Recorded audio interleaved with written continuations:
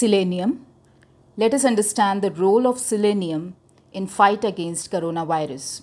Extensive study has been made all over the world in this pandemic period by different researchers and it has been proved that if you're avoiding severe selenium deficiency then we can be at a lower risk and on a safer side definitely. So what is the selenium? Selenium is basically a non-metal having atomic number 34. It's situated exactly adjacent to arsenic within the periodic table. It's a p block element belonging to group 16 of the periodic table having an atomic mass 78.971 gram per mole. It was discovered by Johannes Jacob Berzelius in the year 1817 and it exists in various allotropic forms like red selenium, black selenium, grey selenium. Grey selenium is often called as metallic selenium as in its crystalline form it appears like a metal. Selenium has a tendency to conduct electricity and it's so used in photocells, light meters and solar cells. Now as far as the role of selenium in humans is concerned, it is used to treat and prevent selenium deficiency. It has an anti-cancer properties. It acts as an aid to treat Hashimoto's thyroiditis which is an autoimmune disorder of thyroid. It's used to treat high cholesterol. It is essential for thyroid hormone metabolism within the body. It's used in the treatment of Keshan's disease. Keshan's disease is a type of an heart disease. It's also used for treatment of Kashin-Beck disease, which is a type of arthritis resulting in pain, swelling, and loss of motion in the joints and most importantly, it helps for strengthening of the immune system. The amount of selenium in different foods depend on the amount of selenium in the soil where the food is grown. So definitely if there is selenium deficiency within the soil then it will it will be more prominent within the civilization which exists in that area right? So selenium deficiency becomes more prominent in certain parts of the world where there are no favorable conditions so as to provide the requisite amount of selenium within the soil and indirectly to the foods.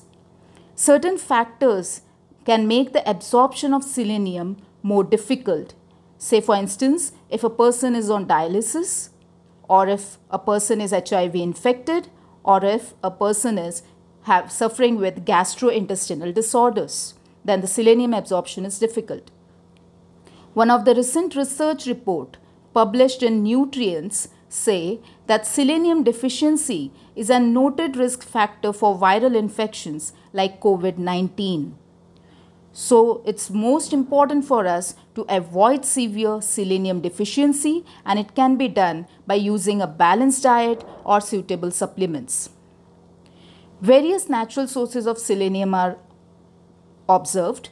We'll consider few of them. Say mushrooms. Mushrooms are available in different types. However, crimini and shiitake mushrooms are richer in riboflavin, pantothenic acid, thiamine, vitamin B6, niacin, phosphorus, potassium, zinc, copper, manganese and it has it is a good source of selenium. Next is eggs. Eggs is a great source of vitamin D, vitamin B6, vitamin B12. It also has fat soluble vitamins like A, D, E and K, full of lecithin and in addition there are certain minerals like zinc, iron, copper and selenium.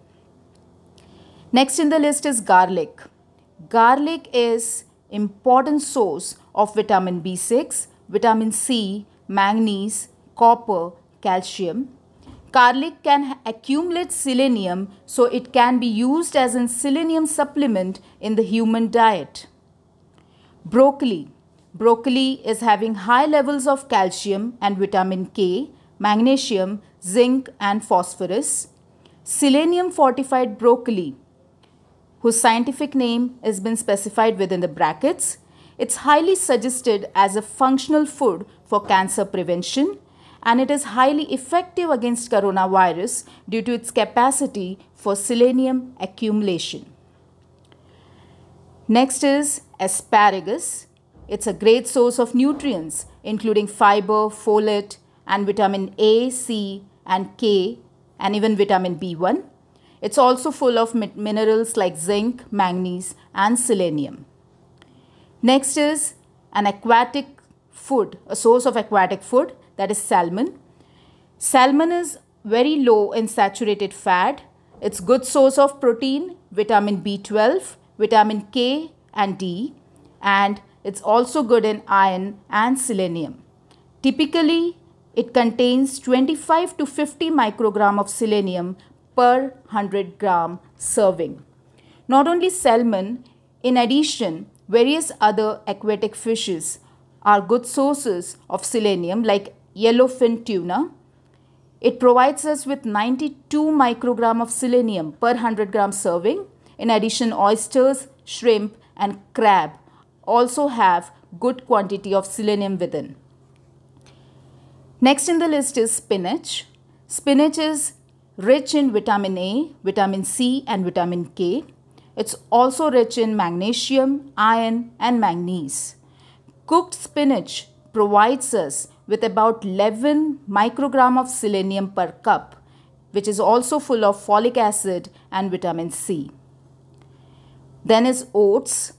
Oats is available to us in the forms of oat cereal and oat milk.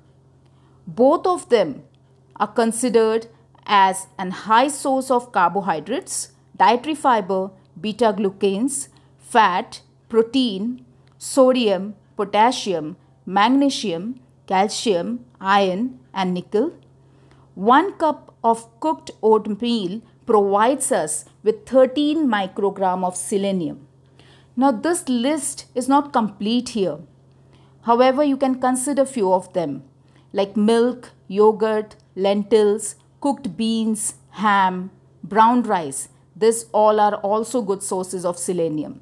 And if you try uh, like taking at least two to three sources on a regular basis within your diet in the form of a balanced diet, it will definitely help us fight against coronavirus in this particular pandemic situation. That's for this particular video. Thank you for watching.